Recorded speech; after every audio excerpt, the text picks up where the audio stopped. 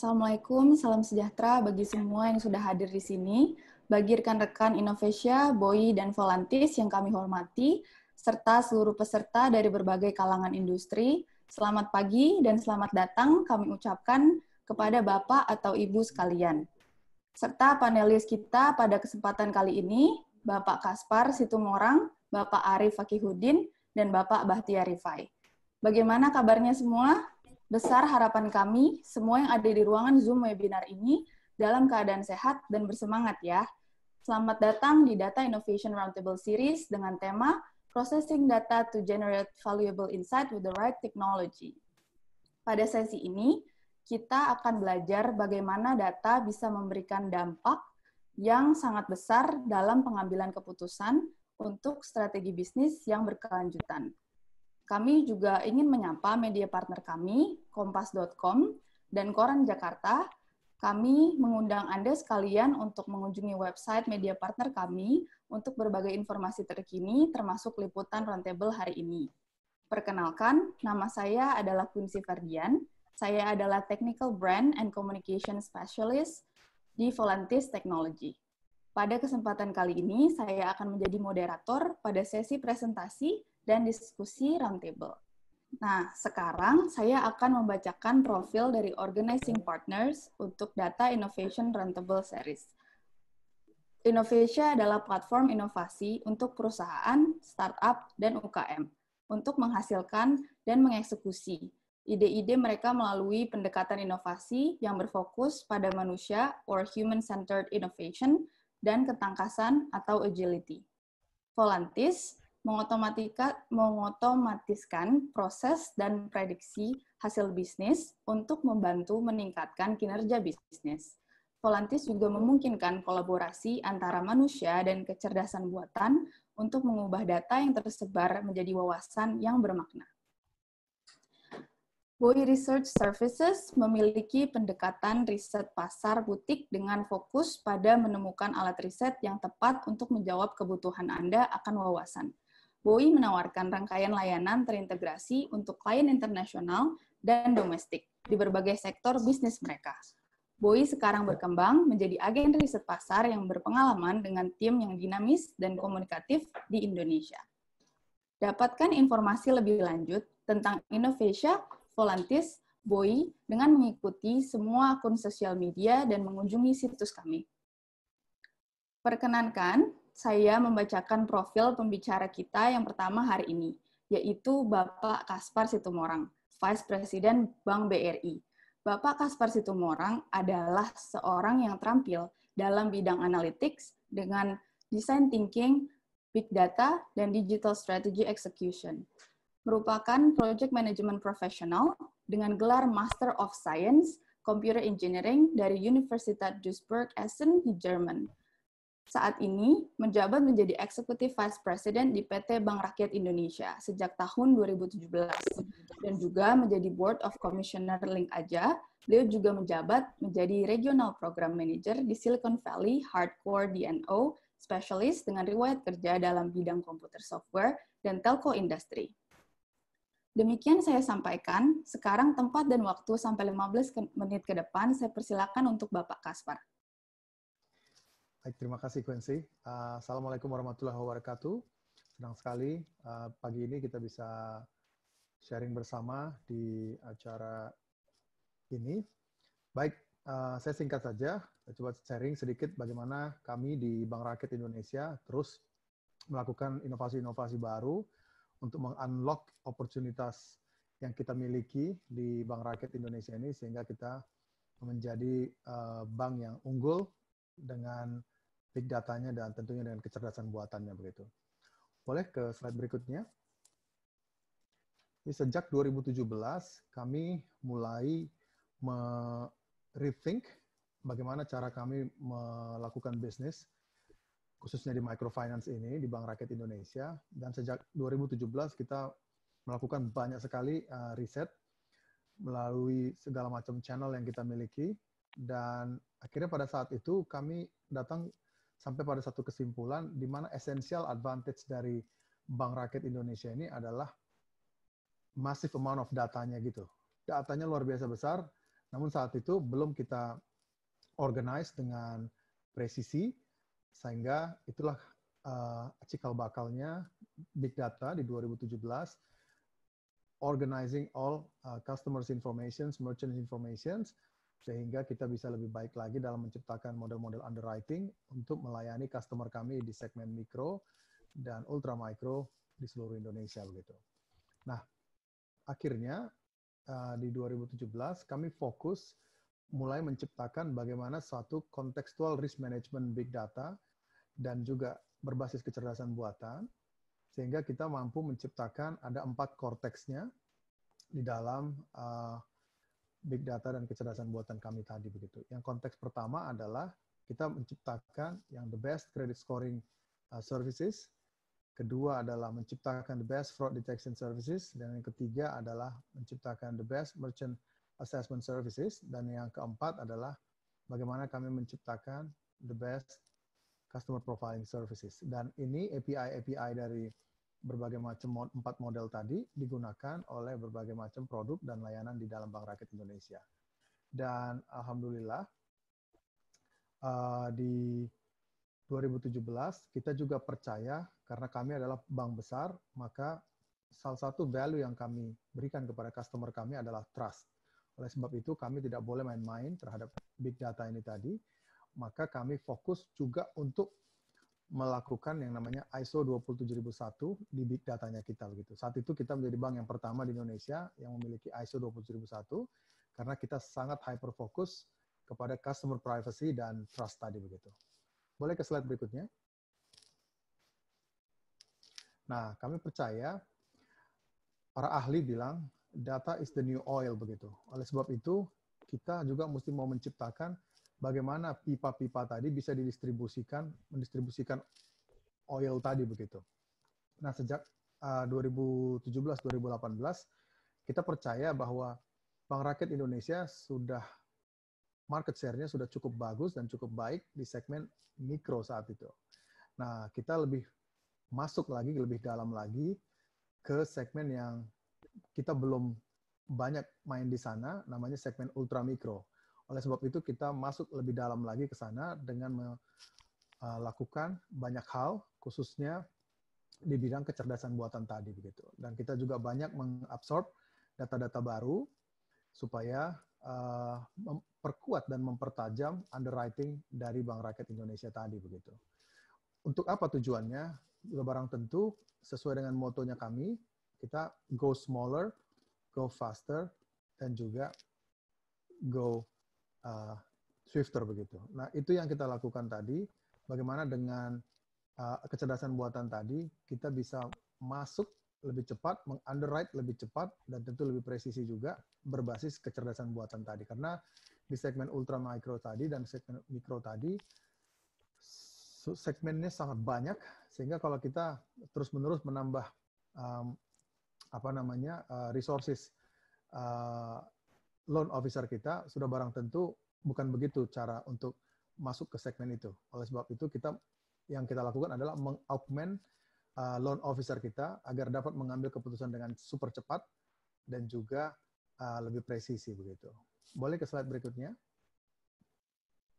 Nah, sejak 2017 uh, sewaktu kita membangun big data kita, kita banyak sekali menggunakan berbagai macam teknologi stacks-nya kita, mulai dari data unstructured maupun data structured-nya kita. Kita banyak bekerjasama juga dengan teman-teman di Google untuk data unstructured-nya. Nah, kita untuk big datanya menggunakan Kafka, kita menggunakan Hadoop juga, kita menggunakan um, Sparks, Python, dan untuk analytics-nya kita banyak sekali menggunakan uh, untuk processing dan visualisasinya kita menggunakan Tableau dan juga kita menggunakan uh, TensorFlow untuk menampilkan uh, berbagai macam uh, model machine learning serta R dan Spark begitu. Nah, kita juga uh, banyak menggunakan at scale supaya lebih mudah dan memvisualkan data-data yang skala besar dan tentunya dalam integrasi untuk ke berbagai macam uh, front end yang kita miliki, kita menggunakan uh, Golang dan backend-nya kita berbasis Kubernetes dan Docker juga dan berbagai macam front end yang lain selain React, kita juga banyak juga dibantu oleh uh, Data Studio dari Google dan juga berbasis Flutter dan React begitu. Nah, ini aplikasi-aplikasi yang mengkonsum berbagai macam data service tadi itu berbasis API yang kita rancang agar dengan cepat dapat memberikan respons terhadap data yang diinginkan. Outputnya, boleh ke slide berikutnya. Outputnya adalah sejak 2018, uh, sebelum 2018, uh, Bank Rakyat Indonesia uh, membutuhkan waktu kurang lebih dua minggu karena it's all based on pen and papers begitu dalam loan originasi sampai loan distribution sampai loan disbursement ya begitu. Kemudian sejak 2018 uh, kita mengintroduce aplikasi namanya Brispot mobile apps. Jadi loan officer kita tinggal inputkan saja beberapa data-datanya, kemudian di underwrite oleh model underwritingnya. Sekarang loan originasinya sampai loan disbursementnya kurang lebih hanya membutuhkan dua hari saja. Kemudian kita nggak stop sampai situ. Di 2019 kita pergi dari 10x ke 100x begitu. Bagaimana loan originasi tadi sampai loan disbursement bisa hanya butuh waktu kurang dari dua menit begitu. Dibantu oleh aplikasi yang namanya Pinang dan juga aplikasi yang namanya Ceria begitu. Nah jadinya kita percaya bahwa sekarang kita lebih cepat, lebih aman dan juga lebih murah menggunakan aplikasi-aplikasi yang high tech dan high touch ini tadi begitu, Bapak Ibu sekalian. Dan Bapak Ibu sekalian, uh, kami percaya bahwa um, boleh berikutnya, slide berikutnya. Kami percaya bahwa sebagai bank terbesar di Indonesia, kita selalu memiliki tanggung jawab uh, untuk mengakselerasi micro, small, medium economy di negara ini, tentunya dengan berbasis teknologi tinggi tadi, dan kami percaya for the next coming years supaya tidak ada satupun customer kita yang ketinggalan di seluruh Indonesia untuk mengakses menggunakan produk-produk keuangan Bank Rakyat Indonesia dengan aman dan baik. Mungkin demikian dari saya paparannya. Assalamualaikum warahmatullahi wabarakatuh. Terima kasih.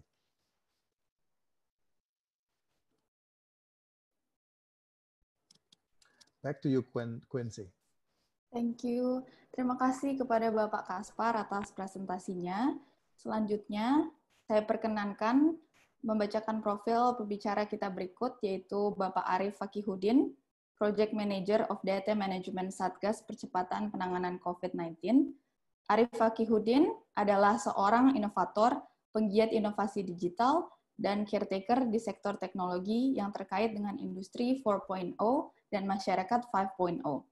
Selama COVID-19, Bapak Fakih adalah manajer proyek sistem dashboard relawan dan Manajemen Data Satgas Tugas Nasional dan Koordinator Relawan Digital COVID-19 Pemprov DIY Yogyakarta.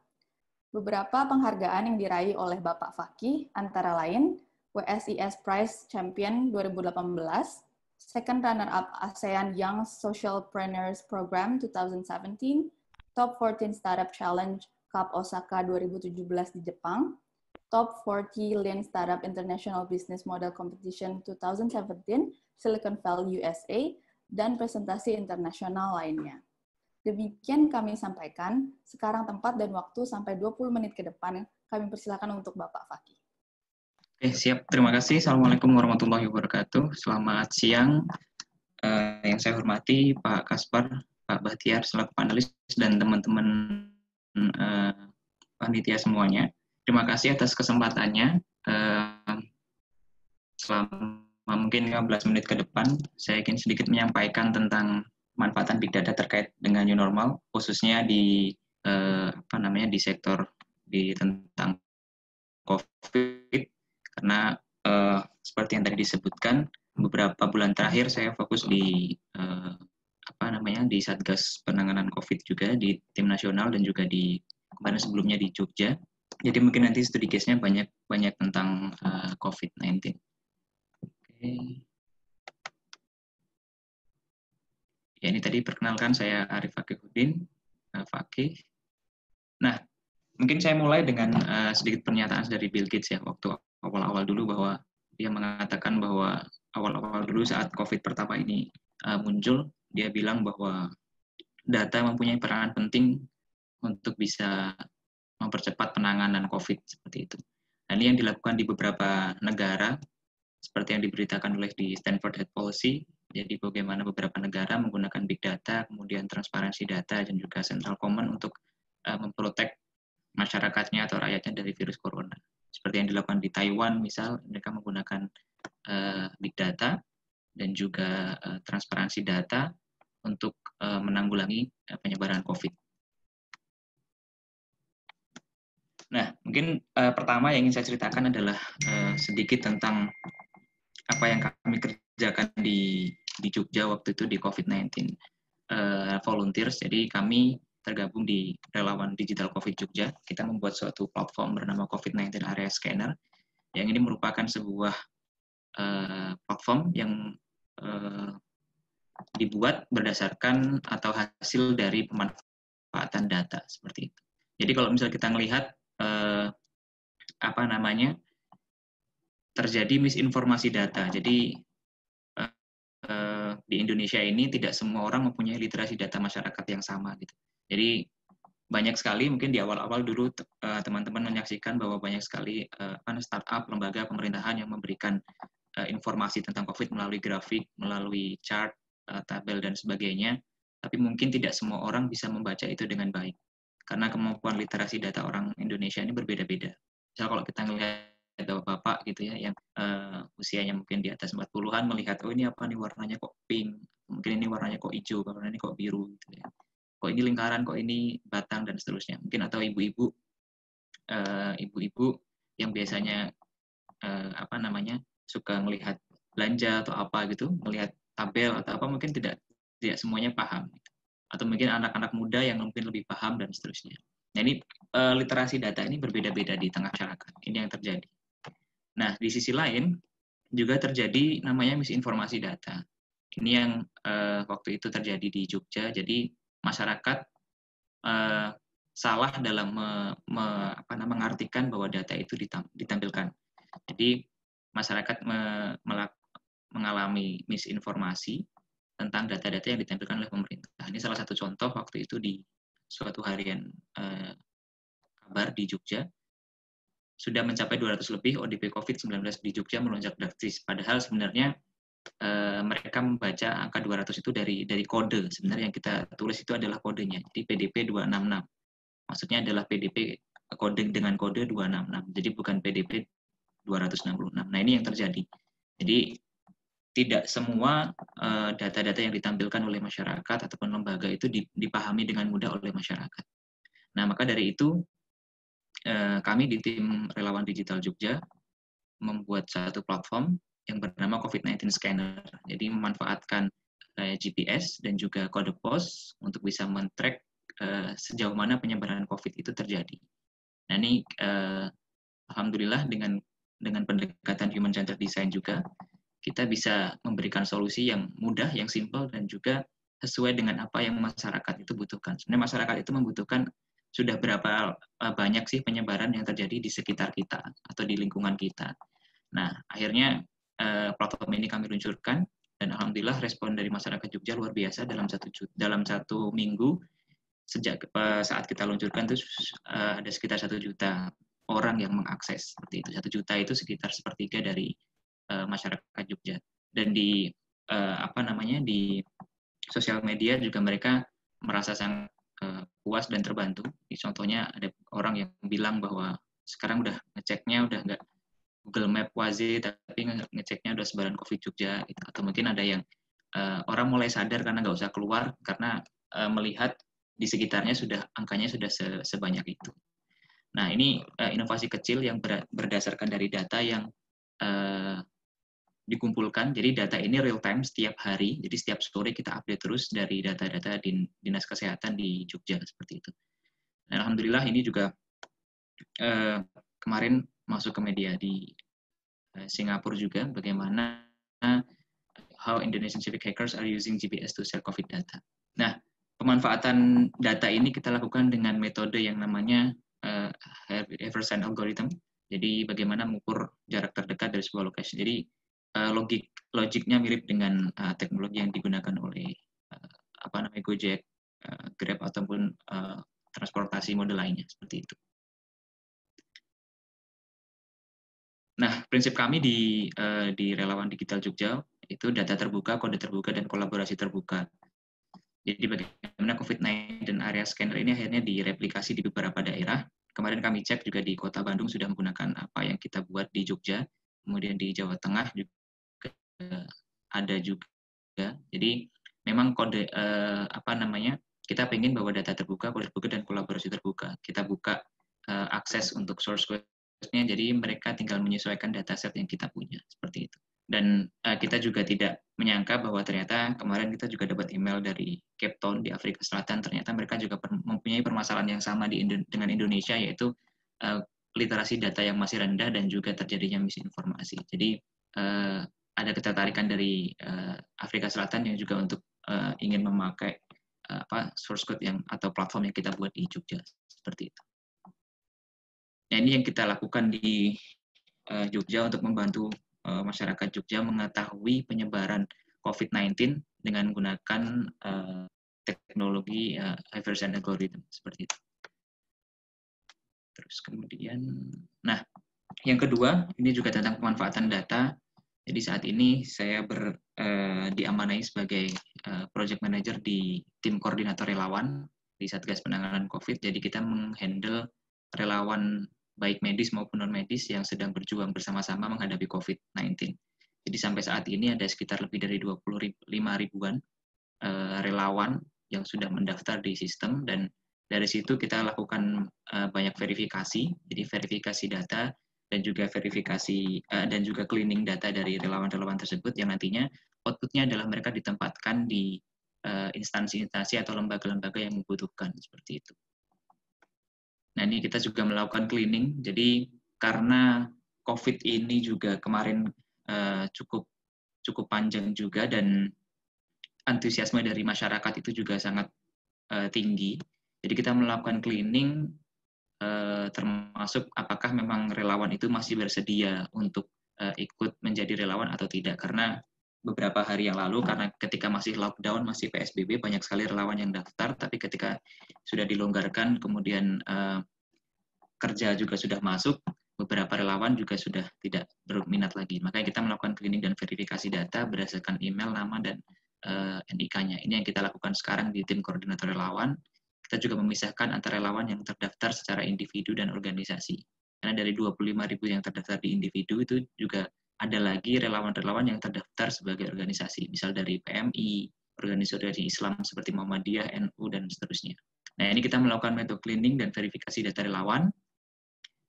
Terus kemudian sampai per hari ini, data relawan yang terdaftar di sekitar 24 Maret sampai 23 Juli, sekitar dua bulan yang lalu itu ada 20, hampir 25 ribu. Dari terdiri dari individu dan organisasi. kemudian dari situ kita verifikasi, verifikasi lagi, kemudian yang kita latih, jadi data-data benar-benar kita latih semua, terus kemudian kita cleansing datanya, ternyata yang, yang masih berminat ada sekitar uh, 18.000 dan juga yang bersedia sekitar 5.000 ya ini yang nanti akan siap untuk diterjunkan uh, di instansi-instansi terkait seperti itu. Nah, kemudian kita juga lakukan mapping. Jadi ini salah satu mapping untuk uh, tenaga medis, jadi relawan medis. Jadi uh, yang warnanya hijau pekat ini yang uh, membutuhkan banyak uh, relawan medis, kemudian yang warnanya penyebaran, sorry, penyebaran relawannya yang warnanya hijau agak agak muda ini yang uh, range-nya di antara 0 sampai 5 atau 6 sampai 10. Nah, ini kita mapping dari uh, daftar mereka yang sudah mendaftar di platform. Terus kemudian ini juga untuk uh, data program. Jadi program-program yang diadakan di daerah-daerah yang membutuhkan relawan juga di antaranya seperti bantuan makanan, kemudian relawan pendampingan dapur nasi murah, kemudian banyak juga yang relawan-relawan yang uh, akhir terjun ke public service area seperti di pasar, kemudian di acara-acara uh, seperti Car Free Day dan seterusnya, kemudian sosialisasi penerapan protokol, juga relawan lingkungan tangguh dan juga tim komunikasi daerah. Jadi ini uh, jenis program yang uh, dilakukan oleh teman-teman di uh, seluruh di provinsi-provinsi yang uh, kemudian kita nanti akan salurkan relawan-relawan uh, yang sudah ada.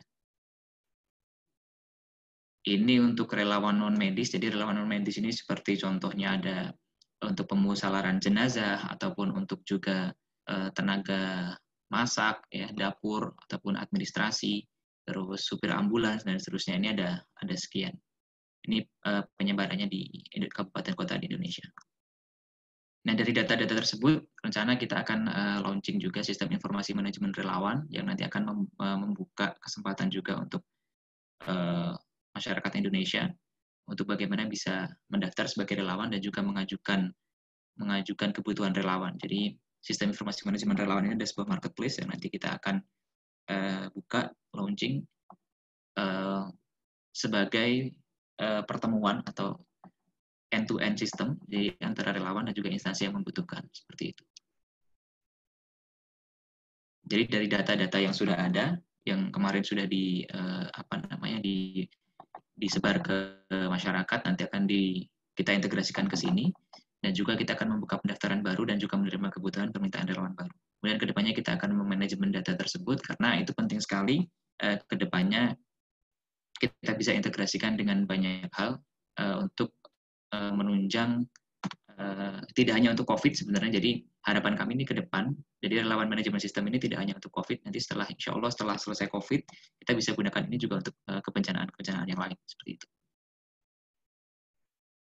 Nah, selanjutnya mungkin pemanfaatan data untuk analisa epidemiologi ya. Jadi di COVID ini karena kita mempelajari tentang sebuah tidak hanya tentang penyakit tapi juga tentang bisa dikatakan tentang sebuah sistem kebencanaan. Jadi analisa epidemiologi ini juga sangat penting.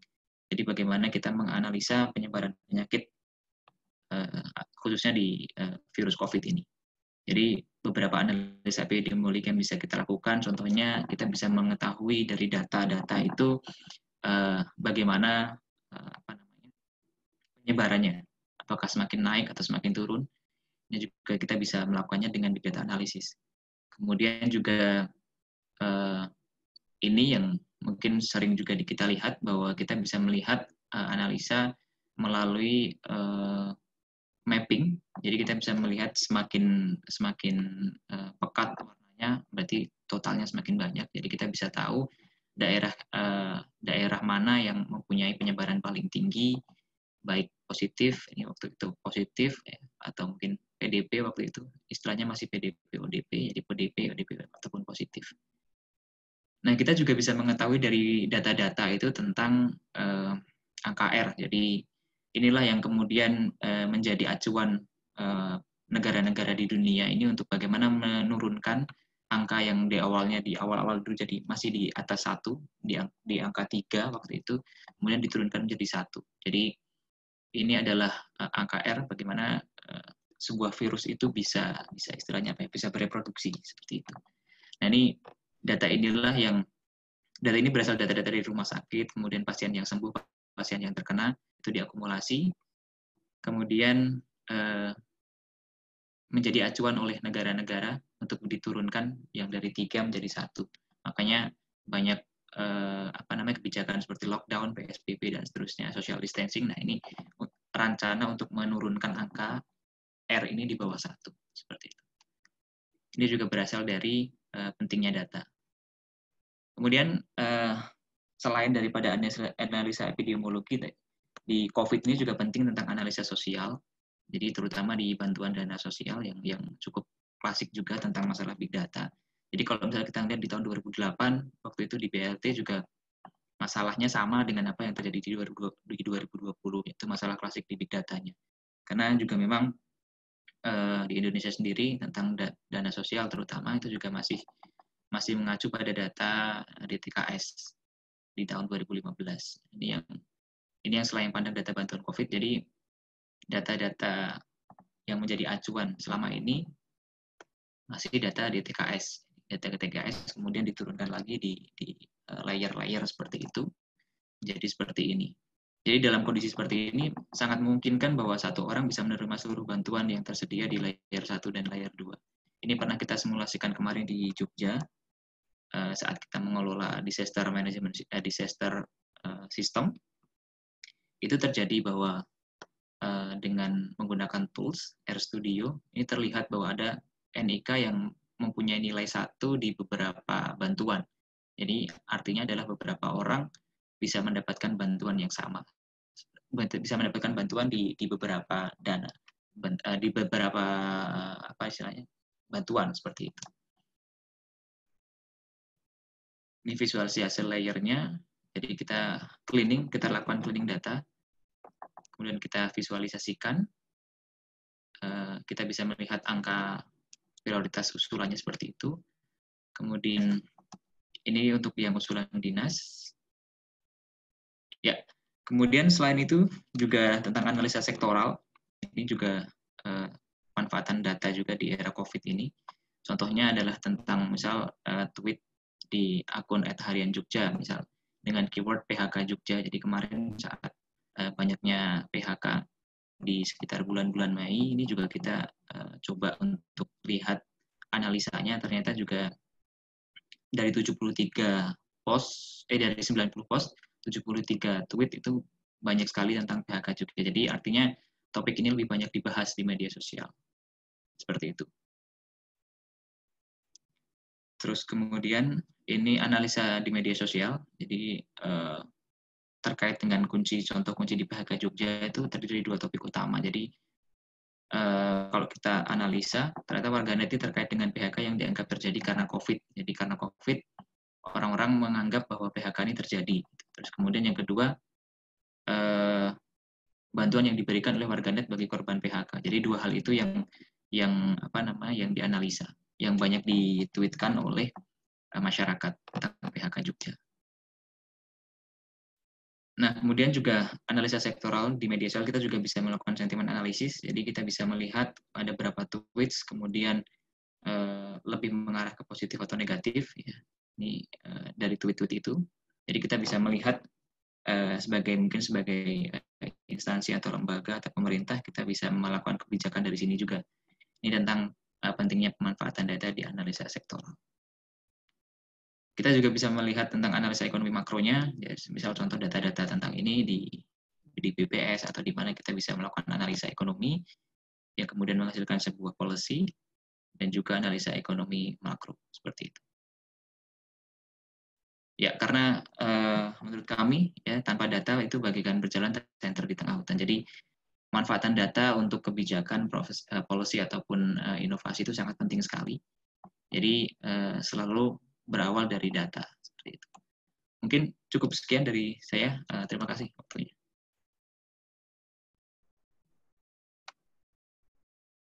Terima kasih Bapak Faki untuk sesi presentasinya. Selanjutnya, perkenankan saya membacakan profil pembicara kita yang terakhir pada hari ini, yaitu Bapak Batia Rifai, CEO dari Volantis Technology. Bapak Batia Rifai adalah seorang startup teknologi dan AI enthusiast yang memiliki pengalaman lebih dari 12 tahun dalam bidang digital marketing, big data, AI, machine learning, e-commerce, strategic planning, dan product development. Bapak Batia Rifa ini juga memperoleh gelar sarjana Fakultas Ilmu Matematika dan Ilmu Pengetahuan jurusan Fisika sejak tahun 2018, menjabat sebagai co-founder dan CEO di Volantis Technology. Demikian kami sampaikan, sekarang tempat dan waktu sampai 20 menit ke depan kami persilahkan untuk Bapak Bahtiar. Oke, uh, terima kasih sebelumnya uh, karena udah perkenalan, jadi saya coba langsung selanjutnya aja. Jadi kalau teman-teman tadi dari Pak Kaspar dan apa namanya dari Mas Arief dari industri expert ya, jadi dari Pak Kaspar adalah dari Bank BRI, di mana Bank BRI mempunyai banyak sekali data. Uh, dan di tahun 2017 uh, BRI berhasil melakukan digital transformation ya. Dari mulai uh, data yang apa namanya data yang banyak itu menjadi data driven decision dan juga dari Mas Arief sendiri pemanfaatkan sebenarnya pemanfaatan data untuk uh, tata kelola COVID ya untuk pembagian bantuan untuk monitoring segala macam di uh, seluruh Indonesia. Nah kalau kami uh, kami dari uh, vendor side perspektif ya jadi dari teknologi partners jadi kami melihat uh, beberapa use case yang common di beberapa perusahaan uh, terutama customer dan klien kami. Jadi kami coba uh, untuk dalam diskusi ini kami coba untuk memberikan uh, apa namanya apa sih best practice-nya seperti itu. Nah sebelumnya uh, saya ingin membahas dulu uh, kenapa sih digital transformation atau data driven decision itu kan sebenarnya bagian dari uh, digital transformation ya. Jadi outputnya nanti salah satunya digital transformation itu selain uh, generate bisnis model baru juga akan generate uh, sistem ya. Salah satunya data driven decision. Kenapa ya? Kenapa kenapa penting gitu? Nah, ada dua hal sebenarnya yang membuat itu penting menurut saya ya. Yang pertama ini uh, adalah challenge dari sisi bisnis modelnya. Jadi kalau dari sisi bisnis modelnya, uh, yang pertama dari bisnis model itu akan ada bisnis model bisnis model baru yang sangat inovatif gitu dari sisi dari sisi challengers di market ya. Jadi kalau kita lihat uh, mungkin dulu taksi Bluebird itu terbesar. Jadi tahun 2014 belum lama itu kalau kita hujan itu di hotel misalkan kita ngantri uh, taksi Bluebird itu bisa bisa sampai satu jam sampai satu setengah jam gitu. Jadi satu jam sampai satu setengah jam maksud saya. Nah sekarang uh, taksi Bluebird sepi uh, dan taksi-taksi yang lain karena banyaknya uh, aplikasi misalkan ride sharing ya kayak misalkan Gojek, Grab dan lain-lain. Nah, mereka telah memanfaatkan uh, apa namanya kondisi transformasi masyarakat dari tadinya masyarakat yang offline base menjadi online base uh, dan mereka memberikan bisnis model yang baru kepada masyarakat yang uh, di sisi masyarakat itu lebih mudah sehingga uh, membuat apa namanya tradisional bisnis seperti taksi itu mereka mau tidak mau juga harus mengikuti Uh, seperti sekarang mungkin sebagian besar operator taksi sudah mempunyai aplikasi, sudah mempunyai uh, sistem booking online dan sebagainya ya. Uh, jadi memang ini merupakan challenge dan kita lihat sendiri bahwa uh, di Amerika sendiri dulu uh, toko buku yang terbesar, uh, blockbuster juga, toko rental CD itu tutup dan digantikan oleh Amazon dan juga Netflix gitu ya. Jadi kalau Netflix sekarang uh, nonton film di Netflix, ngapain uh, kita sewa rental CD di uh, toko gitu. Jadi bisnis model seperti itu yang nanti akan turun seiring berkembangnya uh, populasi yang digital native. Nah kalau kita lihat ya dari data McKinsey uh, di tahun 2025 itu hampir hampir semua ya semua orang 20 billion device uh, atau apa ya istilahnya jadi handphone, laptop, komputer semuanya itu uh, ada sekitar 20 billion which is kalau kita lihat dari populasi di seluruh dunia itu hampir-hampir semua ya. 90% ah, lah populasi dunia itu di tahun 2005 diprediksikan akan connect secara online lewat internet. Nah, itu bisa menjadi dua hal. Yang pertama adalah bisa menjadi challenge bagi bagi tradisional bisnis yang melakukan bisnis secara tradisional. Ah, yang kedua juga bisa memberikan ah, opportunity ya bagi teman-teman yang terutama generasi muda yang ingin buat startup gitu. Nah, misalnya gitu. Nah, eh, di tradisional bisnis juga mereka sebenarnya bisa melakukan improvement di uh, digital transformation dan juga uh, modifikasi bisnis modelnya sehingga mereka bisa capture seperti ini.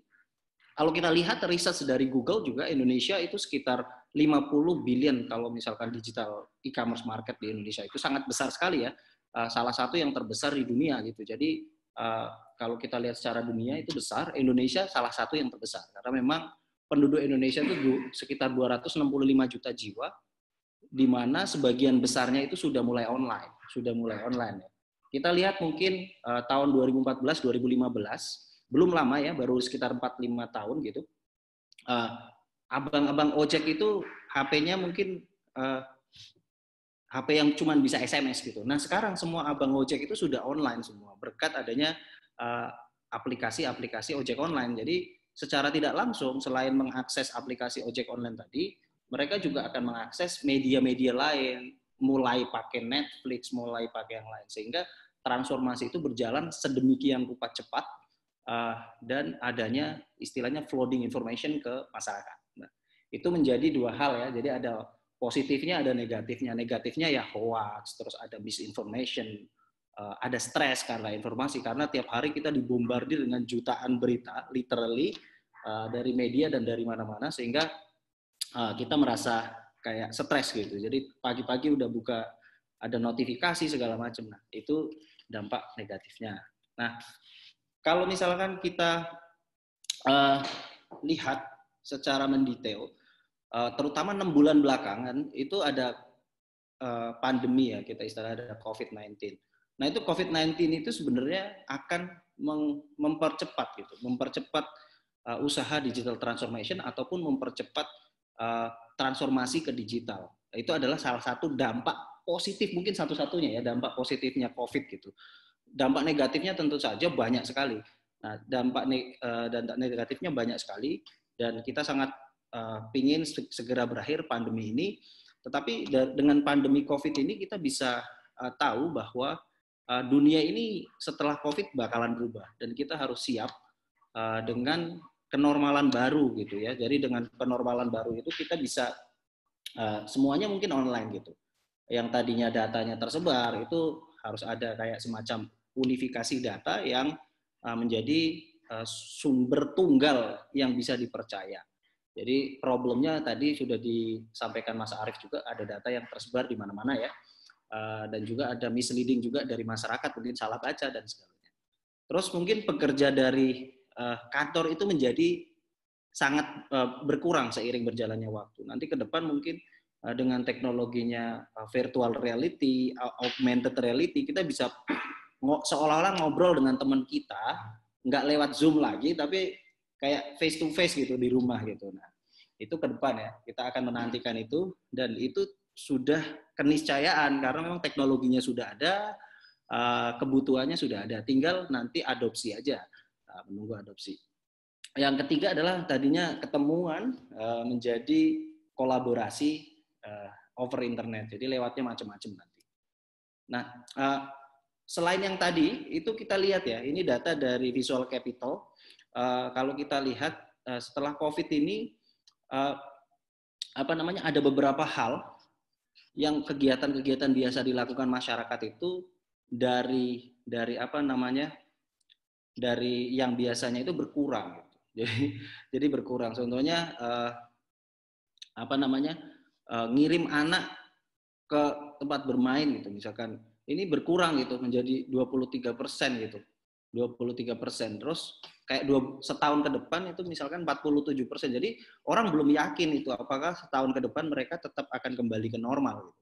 Dan mungkin uh, normal itu akan tidak akan kembali lagi selamanya gitu. Itu mungkin saja gitu karena uh, selain COVID-19 kita juga uh, tidak tahu nanti pandemi-pandemi apa yang akan datang. Oke, okay. uh, selanjutnya bagi perusahaan itu sendiri uh, digital transformation itu penting ya karena tadi uh, banyak gangguan atau disruption disruption yang uh, bisa bisa berdampak negatif ke perusahaannya. Jadi kalau kalau di sini ada grafik nih dari McKinsey, uh, jadi kalau kita ngomong ya incumbent business model ini maksudnya existing business ya, bisnis yang sekarang ada. Misalkan kayak Bluebird Taxi gitu. Nah, ini adalah new uh, new digital business modelnya misalkan dari Grab, Grab gitu ya. Nah, seiring berjalannya waktu itu tradisional bisnis itu akan turun dan mungkin sudah turun, sudah banyak sampelnya. Ke depan itu akan semakin banyak tradisional bisnis yang yang akan turun gitu. Kalau perusahaan-perusahaan yang incumbent tadi tidak tidak bergerak cepat untuk untuk memberikan uh, apa namanya move atau transformasi digital ke arah data driven itu uh, tidak bukan tidak mungkin mereka akan tutup gitu dan digantikan oleh bisnis-bisnis baru yang uh, lebih inovatif, lebih inovatif dan lebih uh, apa namanya lebih siap dengan transformasi masyarakatnya. Nah, jadi uh, ini sangat real ya. Di Indonesia sendiri sangat real, bukan cuma di luar negeri. Ini surveinya global uh, dari McKinsey. Uh, cuman dari di Indonesia sendiri itu sangat real ya. Kalau kita lihat uh, zaman saya kuliah misalkan ya dulu itu handphone itu kecil terus susah gitu. Nah, sekarang itu handphone layarnya besar bisa di touch kita bisa ngapain aja booking online yang yang 10 tahun lalu itu uh, seolah-olah impossible sekarang itu menjadi hal yang lumrah. Nah, eh, itu yang menjadi apa namanya uh, warning buat perusahaan-perusahaan tentunya untuk uh, untuk melakukan digital transformasi menuju data driven decision. Oke, uh, nah uh, kalau kita lihat ya uh, dari survei uh, ada dari Harvard Business Review, kita lihat itu uh, secara global itu ada sekitar 1,3 triliun. Wah itu besar sekali ya. Itu dispend oleh perusahaan-perusahaan untuk melakukan uh, digital transformation. Nah, tapi hampir 80 atau 90 persennya ya, 90 900 billion ini, ini terbuang sia-sia karena inisiatifnya uh, tidak memenuhi goals. Nah, dan itu tidak hanya terjadi di global, itu terjadi di lokal. Jadi banyak sekali saya berdiskusi dengan uh, eksekutif perusahaan di Indonesia, uh, di mana mereka sudah invest ke contohnya digital infrastructure gitu. Cuman secara ROI itu nggak masuk akal sehingga mereka ter, dengan terpaksa menutup gitu.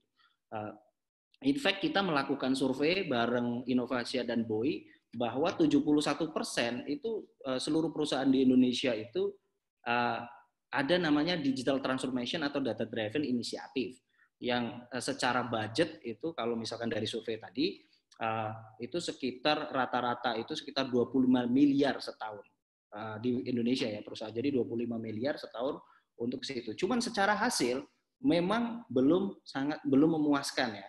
Dan setelah kita go lebih dalam lagi, pergi lebih dalam, itu kenapa tidak berhasil? Karena banyak di antara perusahaan, baik global ataupun lokal, itu yang menerapkan digital transformation dan data driven decision itu tidak secara benar. Jadi uh, lebih ke shortcut ya, lebih ke product oriented di situ. Uh, nanti akan saya jelaskan di uh, belakang ya. Terus selain itu juga dari McKinsey juga ya, 60% eh, dari semua uh, pekerjaan yang ada itu 30 persennya bakalan hilang gitu di otomasi dengan program otomasi. Ini mungkin uh, ini mungkin ada dampak buruk dan dampak baiknya ya. Dampak buruknya mungkin pengangguran uh, seperti zaman dulu misalkan uh, membajak sawah pakai orang, sekarang mungkin sudah banyak pakai traktor. Nah, ini akan mungkin berbeda ya. Mungkin uh, kita lebih ke kayak uh, teller sudah mungkin teller ya. Teller tuh akan semakin berkurang ya teller bank karena orang bisa buka rekening lewat uh, let's say uh, lewat aplikasi gitu. Nah, uh, makanya dari uh, dari kita selaku, selaku employee, selaku misalkan selaku mahasiswa misalkan atau business owner juga uh, memberikan apa ya manfaat ke orang-orang ini supaya mereka bisa meningkatkan skill di bidang lain. Uh, uh, di sini. Oke. Okay? Nah, ini yang saya maksud kesalahan mindset ya. Jadi banyak sekali perusahaan di Indonesia yang yang nggak cuma Indonesia ya, banyak juga perusahaan global yang memaknai digital transformation dan data driven decision itu uh, secara salah gitu ya, secara kurang tepat lah. Jadi kalau sirsa circa 2010 gitu ya, uh, kita lihat bahwa digital transformation itu berarti punya website. Jadi kalau gue gue udah digital kok, gue punya website gitu. Nah sementara nggak ses, nggak sesimpel itu gitu sebenarnya. Tahun 2015 itu trennya e-commerce. Jadi semua orang tuh bikin e-commerce pokoknya bisa belanja online lah gitu. Jadi semua orang tuh vendor e-commerce laris nih di 2015. Jadi semua orang berbondong-bondong ke situ. tahun 2017 nih mobile apps punya Android apps segala macam. Tapi secara bikin Android apps-nya ternyata reviewnya jelek tuh di Google di ini karena aplikasinya nggak memenuhi ekspektasi klien, uh, ekspektasi users ya, dan juga uh, ribet gitu dipakai misalkan. 2019 digital transformation chatbot, jadi isinya chatbot, artificial intelligence segala macam. Pokoknya ada AI-nya, ada chatbotnya keren dah digital transformation. Nah ini sebenarnya adalah uh, misunderstanding bahwa digital transformation is not a channel, is not a tool, is not a platform ya. Itu digital transformation itu sebenarnya uh, suatu proses ya, proses perubahan uh, transformasi dari berbagai aspek gitu. Uh, yang pertama dari manusianya sendiri, aspek manusianya sendiri, SOP-nya, cara kerjanya segala macam. Yang kedua adalah infrastrukturnya. Jadi infrastruktur itu bisa macam-macam. Karena hari ini kita membahas tentang uh, infrastruktur, jadi uh, sesuai judul ya. Uh, nanti saya akan coba lebih detail di infrastruktur. Next, nah ini kalau kita lihat biasanya kita tipikal digital data driven arsitektur ya. In teori ya, biasanya kita carilah di Google nih, Google Image kayak data driven arsitektur, image, isinya gini nih, Hadoop, Spark, apalah ini, ini hewan-hewan apa kita nggak ngerti gitu. Nah ini Hadoop, Spark dan lain-lain gitu. Uh, atau seperti ini gitu. Jadi kayak ETL apa segala macam ini secara secara teori ya.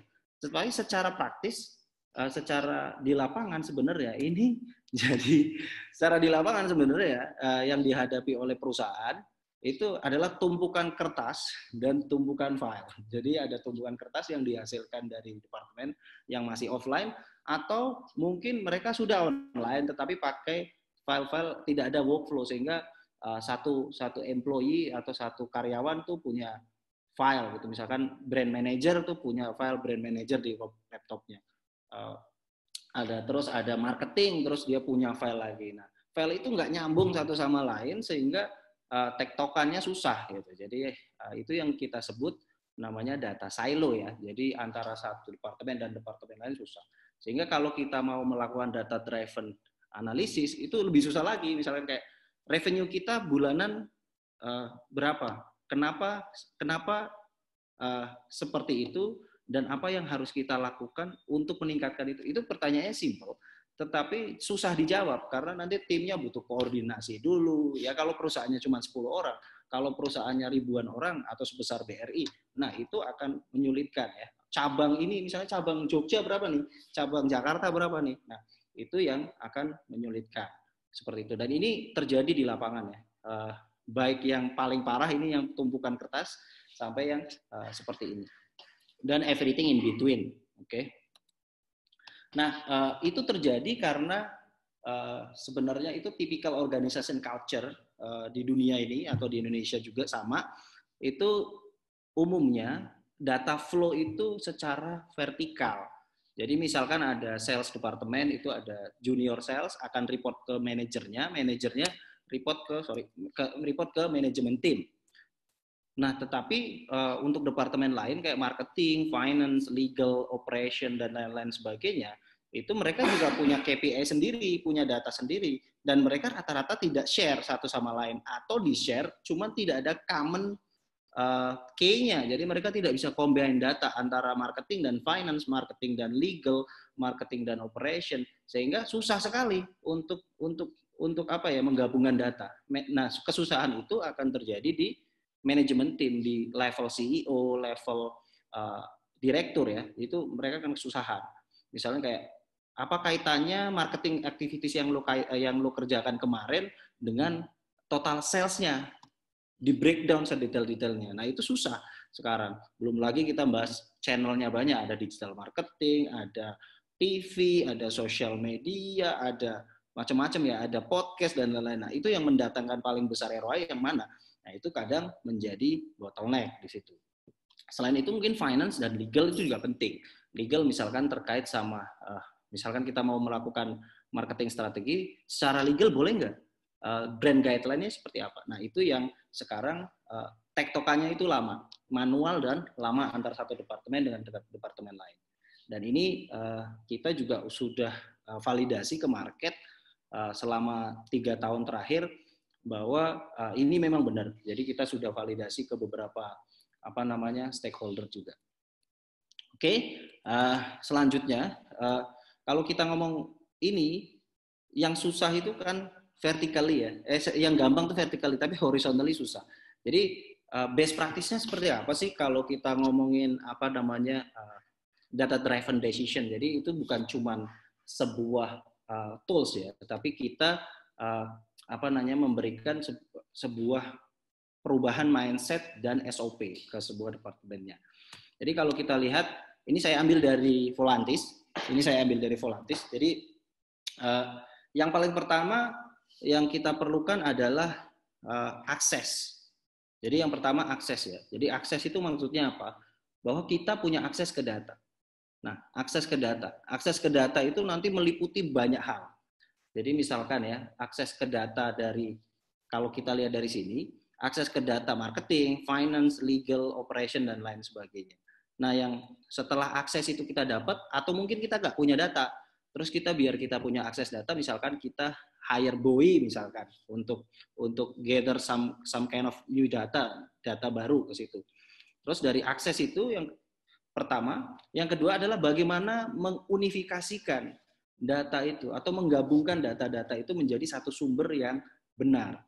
Nah, terkadang data yang satu itu Excel formatnya A, yang satunya Excel formatnya B, yang ketiga PowerPoint, PDF, terus ada dari point of sale dan lain-lain. Formatnya itu macam-macam. Jadi kita perlu standarkan semua formatnya uh, menjadi satu satu apa ya satu uh, satu tempat ya. Kalau misalkan istilah populernya teman-teman cari di sini itu namanya uh, prosesnya ETL untuk ditaruh di data warehouse, istilahnya gitu. Kalau istilah teknisnya ya data warehouse.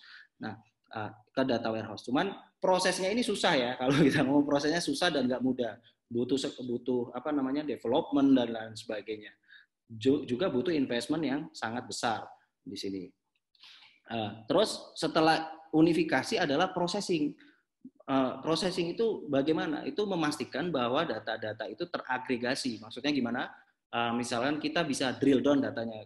Hari ini berapa, bulan ini berapa, hari ini di departemen ini berapa, ini kenapa. Nah itu itu harus kita proses datanya karena tidak semua data itu langsung bisa kita konsum karena datanya mentah ya. Jadi datanya mentah kita perlu matangkan dulu uh, dengan diproses. Selain itu di processing ini juga kita bisa melakukan namanya data cleaning.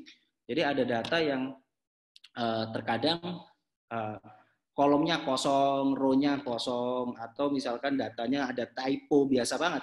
Kalau kita uh, ngisi di Excel, terutama yang manual, ataupun yang otomatis gitu, misalkan kita ada pelanggan nulis alamat atau email atau zip code uh, lain sebagainya itu bisa typo. Nah, typo di situ akan beda gitu, karena misalkan uh, kayak contohnya misalkan uh, apa namanya nama kota lah misalkan Semarang sama Semarang gitu ya Semarang sama Semarang itu uh, di sistem itu sistem kan nggak ngerti konteks jadi sistem itu akan membaca itu dua dua data yang berbeda.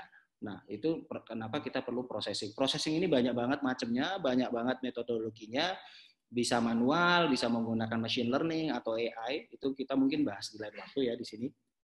Yang uh, ketiga adalah dari setelah processing itu bagaimana kita uh, bangun sebuah insight jadi kita bangun pipanya seperti yang Pak Kaspar tadi sebutkan Eh, dari data raw itu kita unifikasi dalam satu tempat, kita proses ya, terus kita bangun pipanya ke stakeholder yang membutuhkan. Jadi misalkan uh, departemen marketing butuh dashboard apa nih, departemen uh, let's say finance butuh apa nih, uh, CEO butuh apa nih, sehingga mereka terupdate oleh data-data uh, terbaru secara real time ya di sini insight.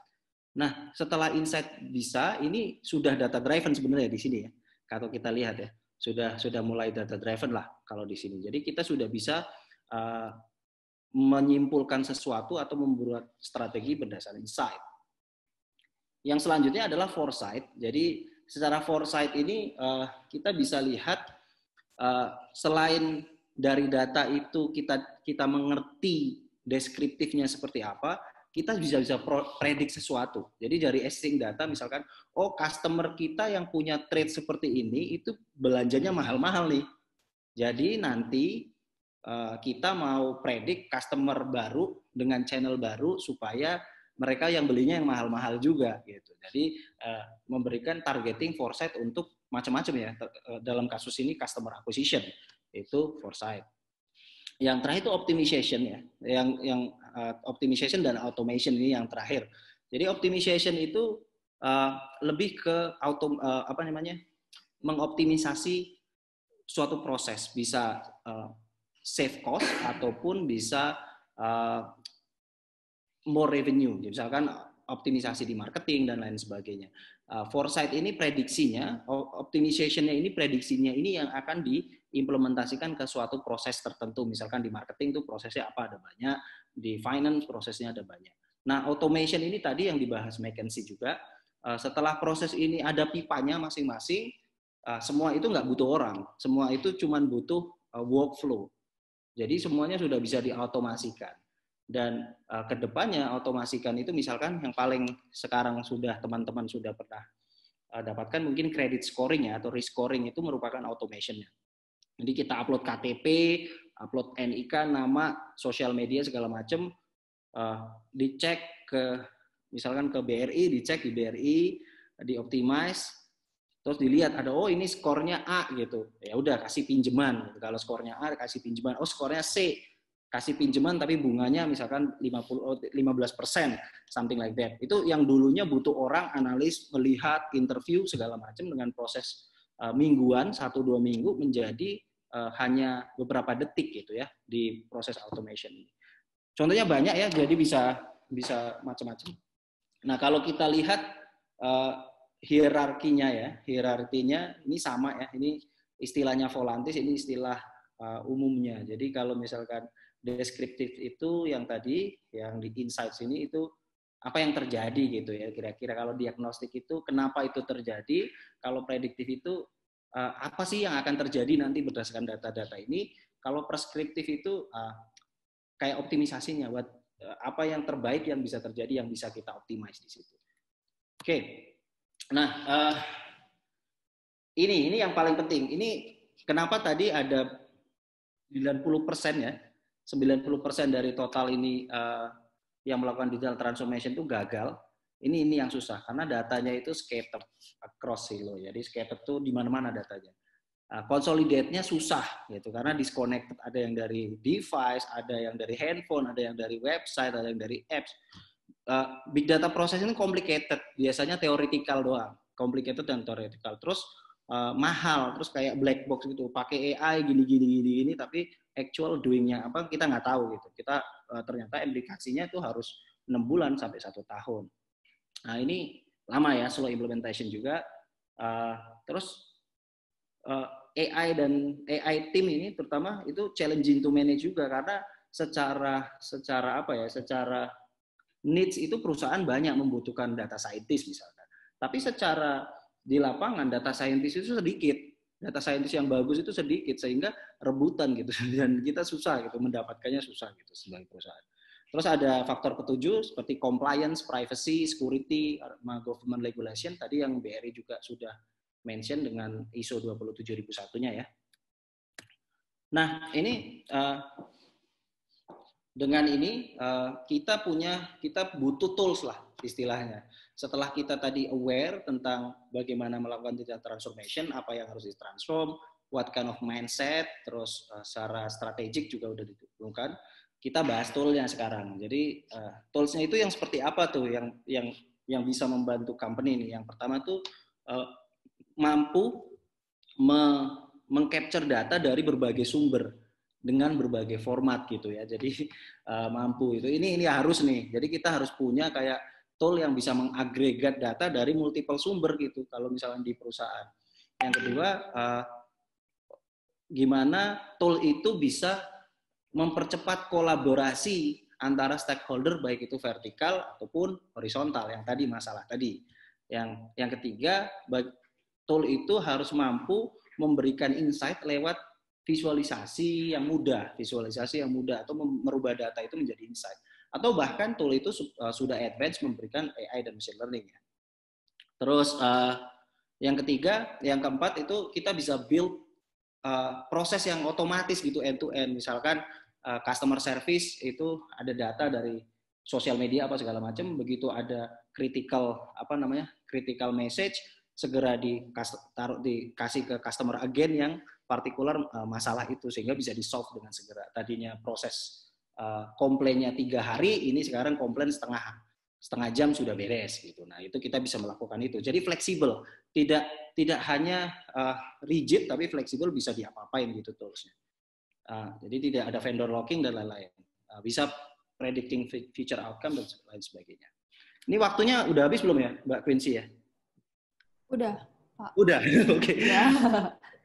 Oke, okay, mungkin uh, yang terakhir ya, terakhir. Jadi terakhir uh, mungkin pengenalan sedikit tentang Volantis gitu ya. Uh, jadi yang terakhir tentang Volantis. Nah, Volantis ini exactly doing that gitu. Jadi kita uh, lihat dari permasalahan di market dan kita coba uh, melakukan ngedesain sistem yang mudah dipakai dan tidak mahal. Jadi ini uh, layernya di Volantis. Jadi ada konektor, bisa connect dari data dari mana aja ada prosesor bisa enrich data, memproses segala macam, ada data visualisasi, AI model, ada API aplikasi, bahkan bisa AI dan machine learning. Jadi ini ya kita mencakup semua. Mungkin itu aja. Eh, kita akan sambung lagi di eh, Q&A mungkin kalau ada yang bertanya. Eh, kurang lebihnya saya ucapkan terima kasih ya dan minta maaf kalau misalnya ada kesalahan kata. Ditunggu Q&A-nya teman-teman semua. Uh, terima kasih. Assalamualaikum warahmatullahi wabarakatuh. Waalaikumsalam. Terima kasih Bapak Bahtiar untuk sesinya. Pembahasannya sangat menarik sekali. Jadi teman-teman kalau butuh digital transformation bisa hubungi Volantis. Baiklah teman-teman peserta roundtable hari ini, uh, kita akan memasuki sesi tanya jawab. Sebelumnya kita akan uh, menyaksikan TVC dari media partner kami sebagai berikut.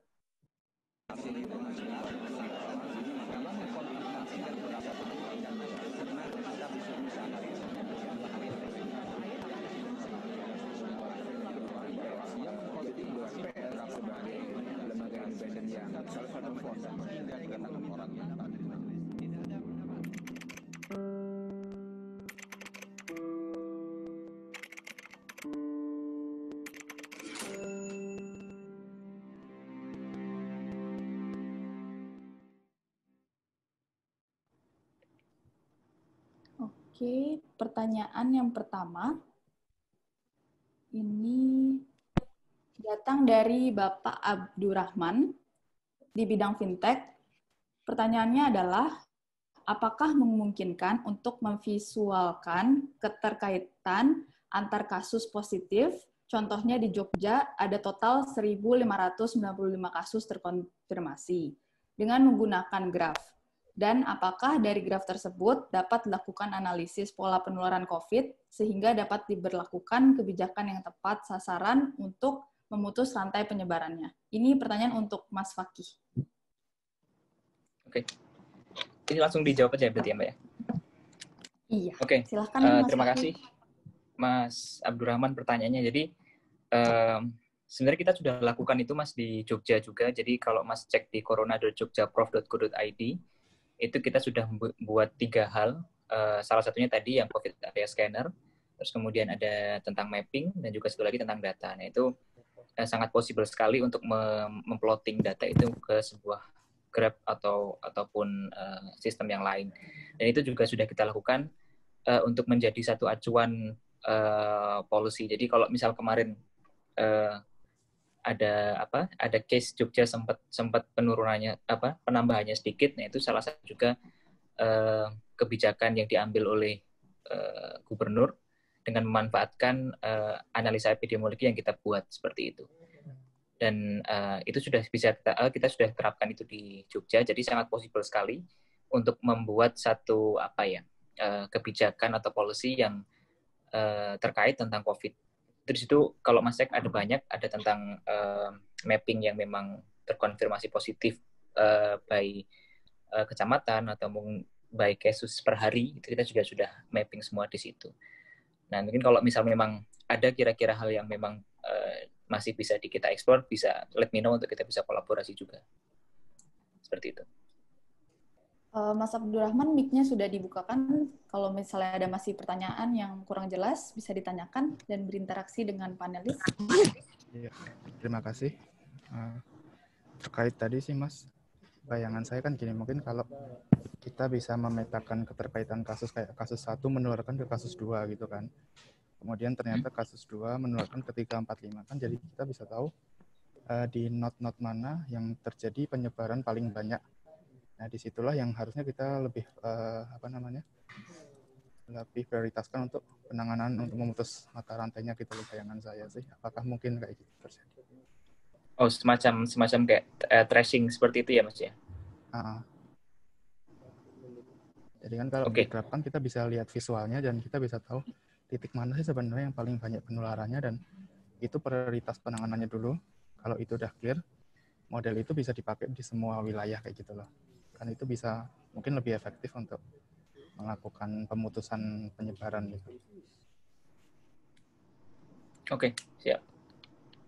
So far yang bisa kita memang eh, itu sangat possible sekali untuk kita lakukan, Mas. Tapi memang so far yang bisa kita lakukan dengan karena eh, uh, apa namanya mungkin sekaligus menjawab pertanyaan kedua tadi ya terkait tentang uh, apa namanya data center juga karena memang itu kan kita uh, harus mengikuti tentang uh, kebijakan masing-masing pemerintah daerah. Jadi memang uh, tentang data segala macam itu kita uh, dari mereka jadi kalau misal data untuk tracing segala macam itu ada, memang itu sangat possible untuk kita kerjakan sih. Karena itu sekarang juga kalau di apa di platform-platform seperti di Peduli Lindungi dan itu juga sudah sudah ada platform seperti itu untuk ngetek tracing segala macam. Jadi uh, belum dapat terrealisasikan karena mungkin data tracingnya belum lengkap itu ya mas? Iya, iya benar. Hmm. Oke, terima kasih. Oke, mas. Oke, Mas Abdurrahman ada lagi yang mau ditanyakan? Sudah enggak. Oke. Terima kasih Mas uh, Faki juga untuk jawabannya. Saya akan membacakan pertanyaan selanjutnya. Oke, pertanyaan selanjutnya ini untuk Mas Bahtiar. Jadi, tadi kan udah dibilang banyak data yang bisa diolah menjadi insight. Nah, bagaimana sih caranya kita itu untuk tahu data mana yang bisa relevan untuk perusahaan? Seperti itu. Yang bisa lebih akurat gitu. Terima kasih Pak Bahtiar. Oke uh, mungkin mungkin pertanyaannya lebih gini ya Mbak ya maksudnya saya klarifikasi jadi uh, data itu banyak tuh kan uh, terus cara ngolahnya gimana supaya data-data uh, itu lebih lebih uh, menghasilkan insight yang relevan dan tidak bias lah istilahnya gitu ya. Oke, okay. oke okay, kalau betul seperti itu, uh, jadi sebenarnya kalau dulu ya infrastruktur data itu kan mahal, jadi kayak storage segala macam itu mahal. Kalau zaman sekarang itu infrastruktur data itu sudah murah. Jadi uh, sebenarnya kalau data apa yang harus disimpan itu semua data itu bisa disimpan. Semua data itu disimpan aja, pasti ada gunanya gitu suatu saat nanti.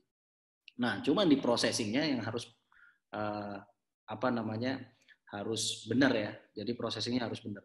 Jadi yang pertama adalah uh, dari pertama kali data diproses sampai menghasilkan insight, kita harus cross check uh, ke beberapa sumber sumber data. Jadi kita misalnya punya cuma satu sumber data, uh, dibikin visualisasi, deskriptif, uh, menghasilkan hasil. Nah, nanti kita perlu cross check ini ke data di level yang paling bawah. Apakah benar seperti itu? Contohnya ya, konkret contoh konkretnya adalah kalau kita misalkan uh, restoran yang punya banyak cabang gitu ya. Terus di pusat kita ingin menu apa sih yang paling populer gitu atau menu apa sih yang paling populer di rata-rata di restoran di cabang kita di Jabodetabek misalkan seperti itu.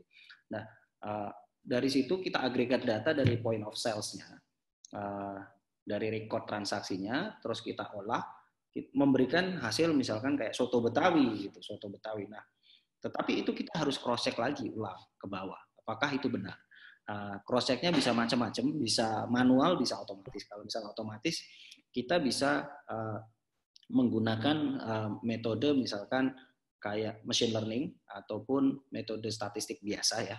Uh, untuk mengcross check data itu seberapa uh, apa namanya uh, seberapa mantap lah ralatnya berapa persen itu uh, si si apa namanya si apa namanya si menu yang tadi. Jadi seberapa uh, akurat lah kayak gitu. Nah setelah kita cek ke bawah yang otomatis itu misalkan menggunakan machine learning uh, kita bisa sampaikan lagi ke customer ini confident levelnya sekian persen uh, bahwa ini soto Betawi. Nah, selanjutnya juga proses tidak berhenti di situ. Kita memerlukan the whole pipeline ke, ke, ke belakang. Setelah data itu kita tes, misalnya kita mau promoin soto Betawi nih, kita tes hasil promonya kita ukur lagi. Nah, data dari hasil promo itu kita pakai untuk mengenrich data yang sebelumnya. Jadi uh, tidak ada satupun data pertama kali coba itu langsung bagus ya hasilnya. Jadi kita perlu kayak constant improvement. Jadi ada dua jawabannya secara singkat. Yang pertama di cross check uh, ke yang paling bawah menggunakan beberapa metode. Yang kedua uh, di testing terus, di improve terus datanya. Jadi kalau misalkan yang ini agak kurang bagus, di improve terus gitu. Itu yang pertama. Terus kalau misalnya secara teknis sih Mbak banyak ya metodenya kita ada uh, banyak sekali kayak metode machine learning dan lain sebagainya untuk untuk uh, melakukan data cleaning atau uh, meminimalisir bias. Gitu. Mungkin itu.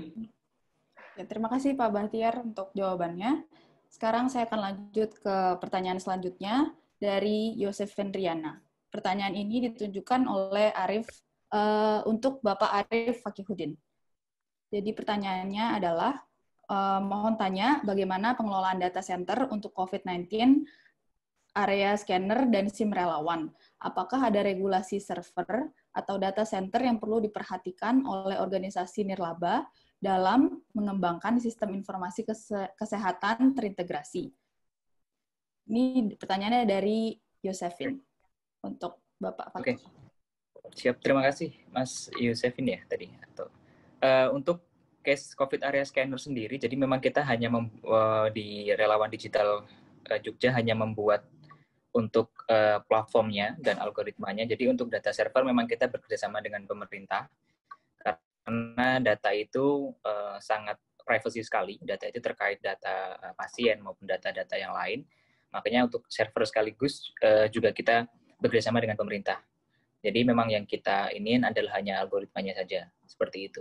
Begitu juga case untuk uh, SIM relawan, karena juga SIM relawan ini terkait dengan privacy data, uh, data itu juga tidak kita, uh, istilahnya, servernya kita bekerjasama dengan pemerintah juga dengan uh, BNPB. Jadi uh, yang memang harus dikonsenkan adalah itu sih mas privacy data itu karena uh, banyak sekali data-data penting, data-data pribadi yang tidak boleh uh, sembarangan terekspos seperti.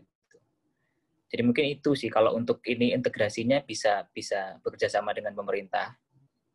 Uh, dengan seperti yang kita lakukan dengan di Jogja itu juga kita uh, di tim-tim relawan kita membuat sama ya kita eh, sama-sama organisasi nirlaba juga.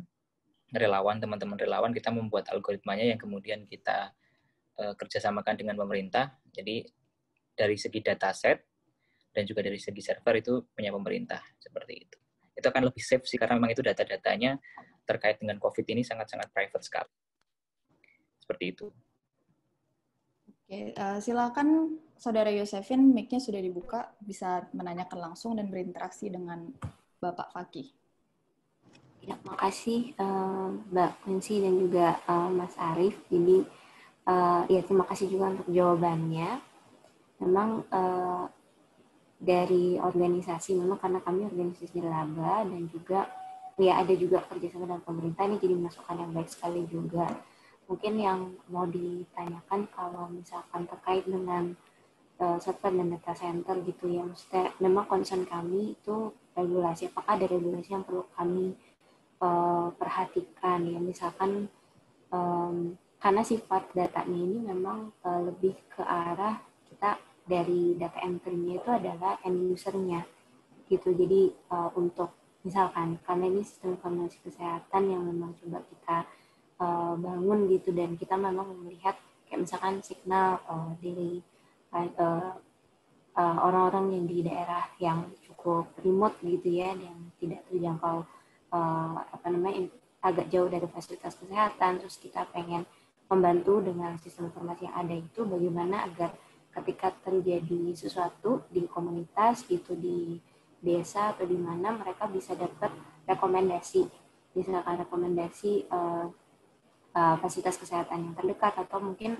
langsung ke uh, seperti uh, referensi uh, apa namanya tindakan yang harus dilakukan dan lain sebagainya. Jadi memang kan datanya itu sifatnya lebih yang mengentry itu dari uh, end usernya. Nah, apakah kita perlu mengconsider ketika kita mau menyimpan data center memang ini juga cukup sensitif karena dia berkaitan dengan data uh, kesehatan gitu ya, maksudnya uh, record medicalnya. Nah, apakah kita mungkin dari Mas Arief punya informasi ada hal apa misalkan dari lokasi servernya apa itu harus di Indonesia atau dan lain sebagainya gitu sih Mas Arif. Ya. ya. Terima kasih. Uh, setahu setahu dari pemahaman saya mungkin bisa dikoreksi juga untuk untuk data center itu memang harus diletakkan di di Indonesia ya, Mbak, terutama beberapa beberapa startup juga, beberapa startup startup besar juga uh, akhirnya memindahkan terus berada di Indonesia kalau tidak salah aturan uh, dari apa Kominfo kalau tidak. Itu mungkin ya mbak layar pertama yang mungkin bisa di, digunakan. Jadi pastikan bahwa ya kalau tidak salah itu karena kebetulan saya juga di, di, di uh, ya, salah satu startup di kesehatan juga jadi itu ketika ngobrol dengan uh, penggiat-penggiat di startup health tech juga mereka mensyaratkan hal itu jadi data centernya berada di Indonesia. Seperti itu sih. Untuk lokasinya. Oke. Iya. Ya. Ada lagi yang mau ditanyakan, Mbak Yusefin? Uh, mungkin kalau boleh agak sedikit spesifik ya Mbak Ini mau tanya kalau misalkan seperti uh, Google Cloud, uh, Google Data Servernya, itu apakah uh, secara regulasi kita bisa gunakan ya Mas Arif? Google Server. Mungkin saya bantu jawab boleh? Bisa. Iya. Pak Bahtiar silakan. Oke, kalau di Indonesia sendiri sih sebenarnya undang-undangnya belum belum terlalu mature ya untuk undang-undang perlindungan data pribadi. Itu udah ada peraturan menteri nomor 16 eh nomor 18 kalau nggak salah uh, tahun 2016. Itu sudah membahas tentang uh, perlindungan data pribadi termasuk di antaranya tentang data center dan lain sebagainya. Nah, cuman belakangan ini direvisi lagi uh, untuk undang-undangnya untuk uh, ada diperbolehkan juga untuk data center di luar negeri, Mbak. Jadi uh, tidak semua dilarang data center yang di luar negeri, contohnya misalnya Google Cloud ataupun Azure ataupun Amazon itu boleh. Tetapi untuk instansi tertentu yang datanya mungkin terkait sama rahasia negara dan lain-lain itu memang harus lokal. Nah, detailnya saya belum baca secara detail ya di undang-undang yang baru itu karena undangnya undang-undangnya masih berubah terus. Uh, yang jelas ada beberapa instansi yang diperbolehkan dan ada yang tidak. Misalkan kayak swasta yang non bank, kalau nggak salah boleh. Swasta non bank itu boleh. Kalau yang uh, bank, uh, telco itu kayaknya tidak boleh gitu ya. Kalau dari sisi itu. Undang-undangnya tadi saya sudah share juga ke Mbak Yosepin ya. Uh, ada di Q&A, ada di undang-undang rancangan undang-undang nomor 16 ya itu terus ada yang terbaru juga. Uh, terus bisa cek juga uh, apa namanya keputusan presiden tentang uh, sistem satu data nasional. Nah itu di situ juga dibahas beberapa uh, tentang apa namanya peraturan misalnya satu datanya itu data centernya di mana. Jadi panduannya ke situ. Nah kalau misalkan secara internasional bisa dicek mbak ke GDPR. Jadi kalau di Uni Eropa itu mereka sudah paling paling maju ya. Uni Eropa itu paling maju itu GDPR. Nah, itu standarnya ada di GDPR. Nah, kalau uh, spesifik masalah kesehatan biasanya seluruh dunia itu mengacu ke standarnya Amerika Serikat itu ada HIPAA, H-I-P-A-A. Nah, HIPAA itu uh, juga standar untuk perlindungan data di sektor kesehatan. Jadi uh, ada beberapa acuan. Kalau di Indonesia mungkin uh, adanya undang-undang statistik dan undang-undang perlindungan data pribadi yang spesifik untuk data kesehatan. Uh, saya belum cek apakah ada atau tidak di situ. Ini itu Mbak, terima kasih. Terima kasih banyak Pak Batiar. Oke, terima kasih Pak Batiar. Mungkin Mas Faki mau menambahkan? Oke, kalau gitu saya akan lanjut ke pertanyaan selanjutnya. Uh, pertanyaan selanjutnya ini untuk uh, Pak Bahtiar. Bagaimana, uh, apakah ini challenging untuk mengolah data menjadi insight. Apa uh, bagian apa sih yang paling challenging dari mengubah raw data tersebut menjadi insight yang nantinya bisa uh, menjadi valuable information untuk company-company gitu. Silakan Mas Bahtiar. Oke, okay, uh, kalau kita lihat sih yang paling challenging sebenarnya bukan pengolahan datanya. Ya. yang paling challenging adalah bagaimana kita uh, bertransformasi dari sisi organisasinya itu yang paling challenging pertama. Cuman kalau da spesifik dalam pemrosesan data, yang paling challenging uh, adalah data unifikasi ya. Jadi karena sekarang uh, banyak sekali perusahaan yang sudah berjalan gitu, uh, mereka tidak punya plan dari lama. Jadi dulu itu misalkan laporannya lewat ada yang offline, ada yang online, ada yang pakai Excel, mungkin ada yang pakai Google Drive, ada yang pakai Microsoft apa namanya PowerPoint dan sebagainya. Nah itu data-data yang scattered itu tidak mudah untuk digabungkan jadi satu, apalagi ada data-data offline. Terlebih misalkan data apa namanya eh, perusahaan-perusahaan kayak tambang sebagainya mereka ada sensor di truknya, ada sensor di mana-mana. Nah itu jadi kombinasi antara data offline, online eh, dengan berbagai format, dengan dengan berbagai jenis macam dari macam-macam departemen itu yang eh, challenging. Proses selanjutnya itu akan jauh lebih mudah kalau infrastruktur unifikasi datanya itu sudah ready. Jadi raw datanya kumpulin dulu, baru nanti processingnya processingnya itu akan lebih mudah. Jadi di processing itu yang paling susah ya. Pertama ngumpulin datanya dulu. Yang kedua adalah data cleansing. data cleansing itu uh, sangat susah juga ya. Uh, survei membuktikan bahwa uh, 80% waktunya data scientist itu dipakai untuk cleansing data. Itu kalau tidak salah itu surveinya si uh, McKinsey. Jadi 80%-nya itu di untuk cleaning data. Jadi memang sangat pekerjaan yang sangat sekali di situ. Jadi begitu kita sudah kumpulkan dan cleansing, proses selanjutnya akan mudah uh, takeaway-nya adalah memilih infrastruktur data yang tepat uh, dan fleksibel itu menjadi key sih di situ. Terima kasih Mbak Quincy. Oke, terima kasih Pak Bahtiar. Jadi itu ya yang lebih men-challenging-nya itu mengumpulkan raw datanya itu. Um, lalu selanjutnya, ini mengakhiri sesi tanya jawab kami. Terima kasih Bapak Arif Fakihudin dan Bapak Bahtiar atas diskusinya. Banyak sekali wawasan-wawasan baru terkait dengan bagaimana data dapat berguna bagi pengembangan strategi bisnis.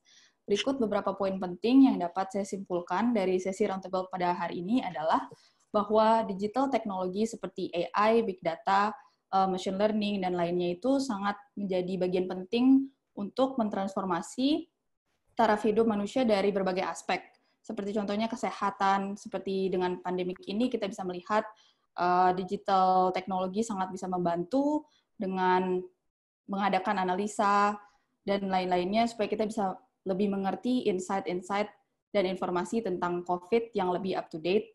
Terus untuk company-company juga dan juga untuk finance services seperti Bank BRI tadi. Um, digital transformation juga dibutuhkan karena akan ada bisnis model yang inovatif nantinya muncul seiring berjalannya teknologi yang semakin maju, semakin advance ke depannya.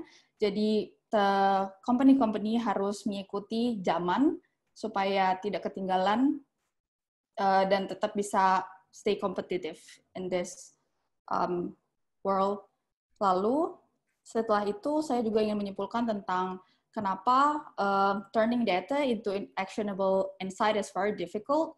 First, data are scattered and silo. Seperti yang sudah dijelaskan, seperti uh, Mas Bahtiar yang sudah jelaskan tadi. Lalu, it's challenging to consolidate, and then big data is very expensive and complicated to manage. Also, it's very difficult to break the old system during the implementation, and then available tools are inadequate to use. Lastly, compliance with privacy, security, and government policy. So um, my conclusion is using the right technology will help businesses to generate valuable insight useful for making business strategy. Okay. um, sekali lagi saya ucapkan terima kasih kepada para panelis atas waktu dan diskusinya yang sangat inspiratif. Uh, semoga sukses dan sehat selalu. Oke. Okay. Dapatkan informasi lebih lanjut tentang Innovasia, Volantis, dan juga kegiatan Roundtable Series selanjutnya dengan mengikuti semua akun sosial media dan mengunjungi situs kami. Lalu event selanjutnya dalam Data Innovation Roundtable Series adalah Implement Digital Disruption Readiness Strategy with the Right Mindset yang akan diselenggarakan pada 16 September 2020. Event ini akan menghadirkan panelis Mireille Makmur dan Customer Experience Bank DPS Indonesia. Lalu Dani Kosasi sebagai co-founder dan partner Innovasia, dan I Dewa Gede Karma Wisana sebagai Associate Director Lembaga Demografi FEB UI.